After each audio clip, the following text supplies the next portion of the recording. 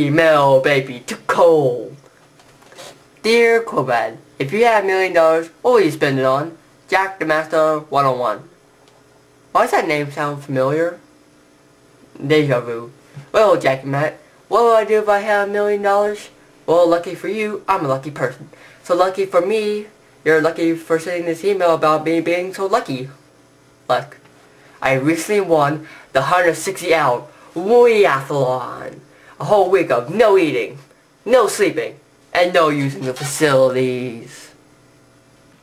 Uh, so hungry, so tired, so bladder full. Oh. I won. I'm the greatest. The competition was pretty fun. The aftermath, not so fun. But what what I spent the money on was my space-time teleporter thingy. It came with a code sheet, but I don't need manuals. Manuals are just for wussies. I'm a man. Must twain for next year. Gotta eat the strong bad, cool bad, strong crabs.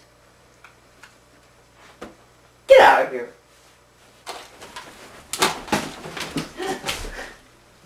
Okay, teleporter to backyard. Uh, I'm gonna code. I know what? That's lame. Let's try space. That's a cool code. Okay.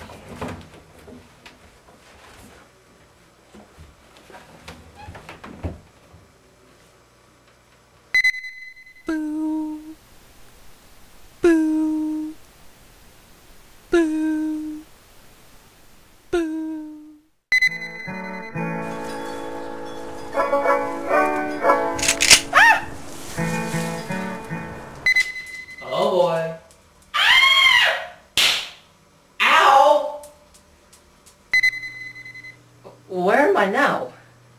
Uh, uh. Limbo stick? I'm in limbo.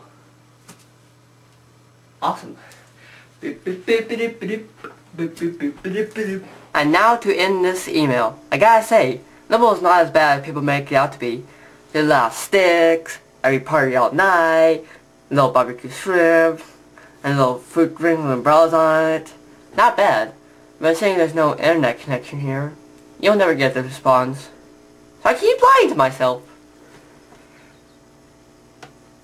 Does anybody know how to get out of here? Or where the bathrooms is?